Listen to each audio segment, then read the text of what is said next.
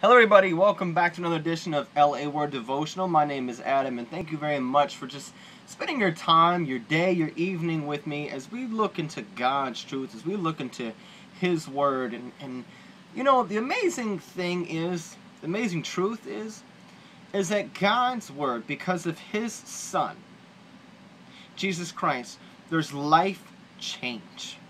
That's what happens when we give our life to Christ. And today, you know, I want to look at, at the scriptures. I'm going to look in the Old Testament. We're going to be looking at Acts 27. We're going to be looking at verses 21 through 22. And then we're going to be looking at Ecclesiastics. Uh, back in the New Testament, we're going to be looking at Ecclesiastics uh, chapter 4, verses 9 through uh, 10. Now, I want to I want to start today by saying this that this is something that Lord has laid on my heart for the last couple of days, and it's talking about encouragement and, and people who have made an impact uh, in your life. And so, uh, as I've been reading Acts, we're going to set up the, the confines of this. In Acts chapter 27, uh, verses 10, you know, they're in this boat. It's the Apostle Paul. He has a trial in Rome that he has to go to. He's in prison with 270 other people on this boat and they got to sail all the way up the coast around the tip uh, of Italy to, to Rome for him to present himself uh, in this situation. So if you want to read further more on that situation, you would have to read Acts 23, 24 all the way on. Now, with that being said, in Acts chapter 27, verse 10, basically Paul says, "Look, man, let's let's sail around this way. Let's go this route because there's a northeastern wind, and what that was, it was a hurricane. And so Paul kind of foreknew what was going to happen, and they basically said, "Oh, a bunch of crap, yada yada yada yada." Now, what happens is, is Paul was right, and their boats being hit both sides, left, right, north, east, everything. Everything's going chaotic, everything's going wrong. And they throw off their food supplies, they throw off uh, their cargo, their, their sails, everything. They're basically just drifting along, right? And uh, you look in verse 20, basically all hope is lost. You know, you, you can only imagine, like, the thought is like, look, we're going to die out here and see. And so in verse 21 it says this, After the men had gone a long time without food, Paul stood up before them and said, Men, you should have taken my advice not to sail from Crete. Then you would have spared yourselves this damage and loss. Verse 22, it says, But now I urge you to keep up your courage, because not one of you will be lost. Only the ship will be destroyed. And I love that particular passage because you look at that and because in the midst of this chaotic situation, everything seems lost. All hope is gone. Paul stands up and says, you know what? The good news is this.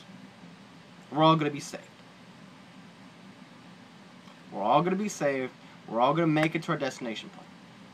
Bad news, we're going to lose the ship. Good news, we're all going to be together.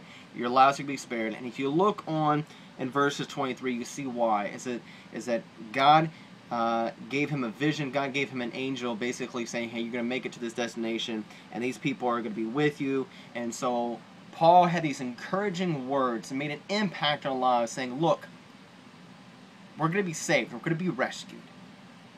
We're going to make it to our destination. And today I want to talk to you all about who are the people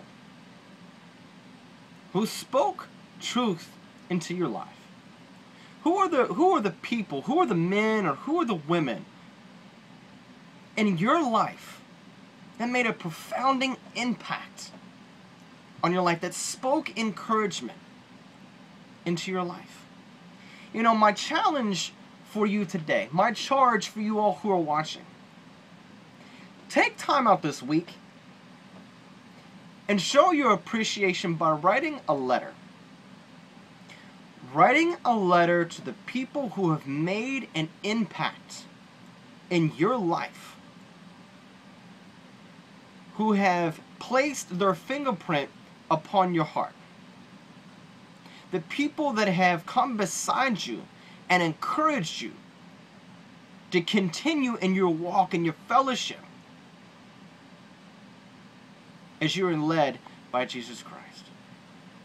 You know, I started that challenge today, and there's four individuals that came to, to my mind of, of how they molded my my character of who I am today. Everything from the time I was 19 until you know even even continuing on today.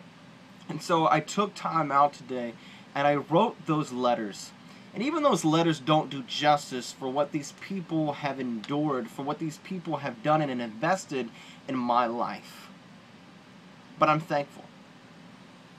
So may you contemplate, maybe you think and pray about who are the people who have been Apostle Pauls? Who are the people who have been the Barnabas? Who are the people who have been encouragers in your life? Who've made an impact on you? It's just to say, take time out and write him a letter saying, look, I want to say thank you. And these are the reasons why. That you have made such an impact on my life. And with that said, I want to look at Ecclesiastics chapter 4, verses 9 through 10. It says this Two are better than one, because they have a good return for the work. If one falls down, his friend can help him up. But pity the man who falls and has no one to help him up. Again, who are the people in your life that have helped you up, that have prayed over you, that have prayed with you, that have encouraged you, that have given you wisdom, that have given you counsel, that have given you guidance, that have discipled you, that have showed you what it means to be a follower of Jesus Christ, who have made an impact on your life, have laid a fingerprint upon your heart. Who are those people? Let us pay homage to those people. Let us take just, what, 20 minutes to write a letter, if that? Let's take 20 minutes out of our week to write a letter to those people and say, hey, I appreciate you. I thank you for what you have done for me in my life. My name is Adam. This is the LA Word Devotional. And my prayer is that this week that you take the time ask God for him to bring forth to your mind the people that have impacted your life. The people who would encourage you, like the Apostle Paul in the boat.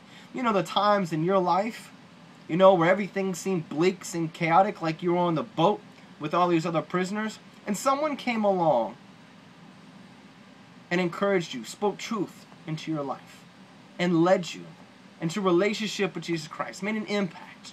Who are those people? I pray that you write those letters today and not not take this letter, you know, not, don't don't take this and be like, oh yeah, I'll do that. But take this seriously. Take a block, carve out a block of time out of your week and write those letters. Thank you for watching LA Word Devotional.